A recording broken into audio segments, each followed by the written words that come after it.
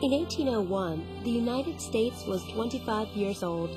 There were 16 states in the Union at the time, and most Americans lived within 50 miles of the Atlantic Ocean.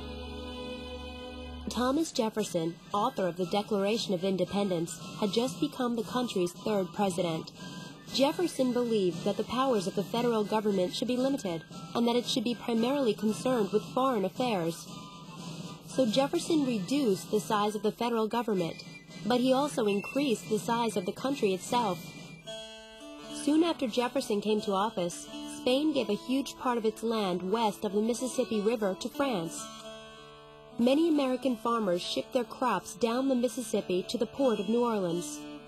Jefferson feared that France might take away American access to this vital port city.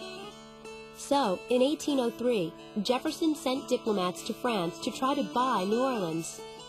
At the time, the French Emperor Napoleon Bonaparte was preparing for a war with England. He was eager to raise money for that fight by selling France's land in North America.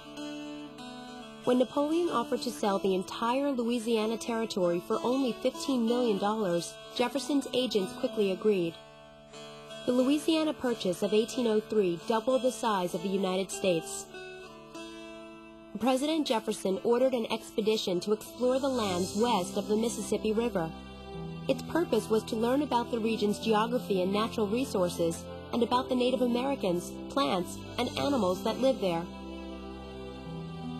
Two men led this expedition into the vast wilderness Jefferson's private secretary, Captain Meriwether Lewis, and former Army officer and cartographer, William Clark. In the spring of 1804, Lewis and Clark left St. Louis and headed up the Missouri River with three boats, two tons of equipment, and 33 men.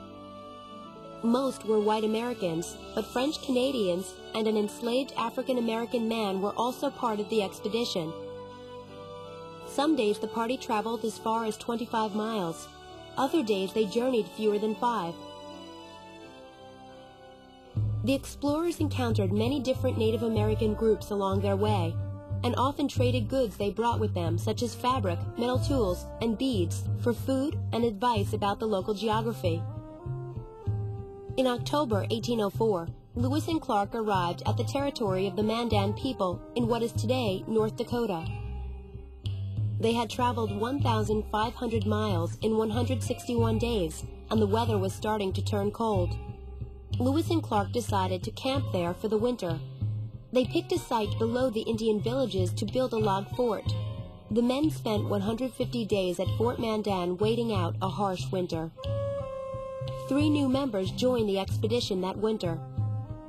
A French-Canadian trapper named Charbonneau and his Native American wife Sacagawea were recruited as translators. The couple's newborn baby was the third person. The expedition set out again in the spring.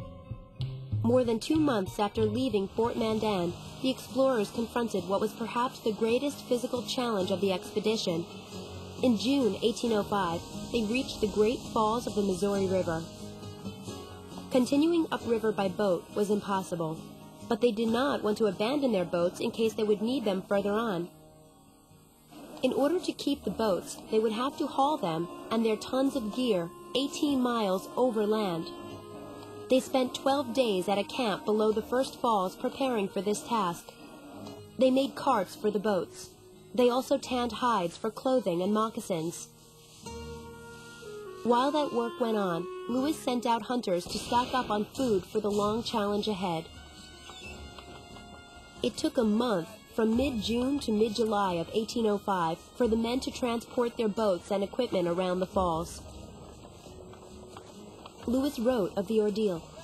At every halt, these poor fellows tumble down and are so much fatigued that many of them are asleep in an instant. Some are limping, and others faint and unable to stand for a few minutes. Once the party finally passed the Great Falls, the expedition continued up the Missouri by boat. On foot and by boat, the party reached the Rocky Mountains in August. By mid-October, the group had crossed the mountains with horses loaned by some friendly Native Americans. They then made their way down the Columbia River toward the Pacific Ocean. By this point, the men were hungry, tired and filthy. Their clothes were threadbare, and many of them suffered from diseases.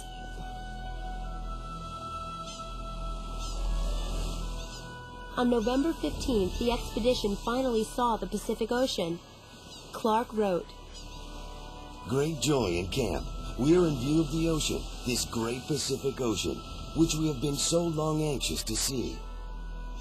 But that joy quickly faded as winter came. They built a shelter they called Fort Clatsop to spend the winter.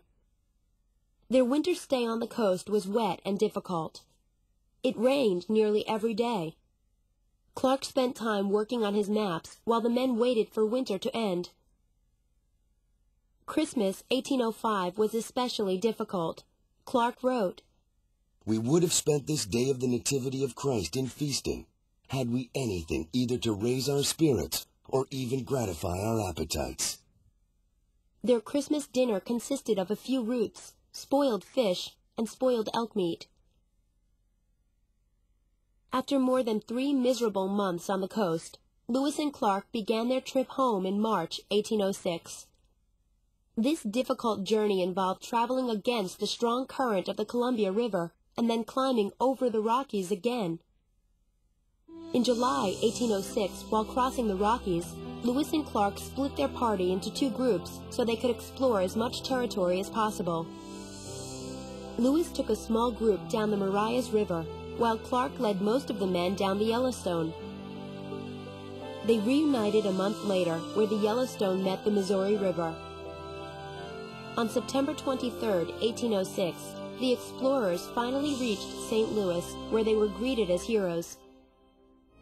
The journey of Lewis and Clark was an epic adventure that required them to travel more than 8,000 miles over 28 months. It was also an important event in American history. Their notes and drawings of the lands, animals, and people they met were a storehouse of information about the new lands.